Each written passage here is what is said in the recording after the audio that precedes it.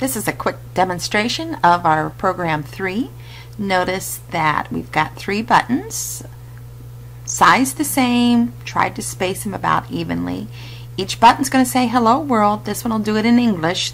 This is what the uh, author had. It comes up in a message box. Here's, here's the French. And there's the Spanish. And that's our application.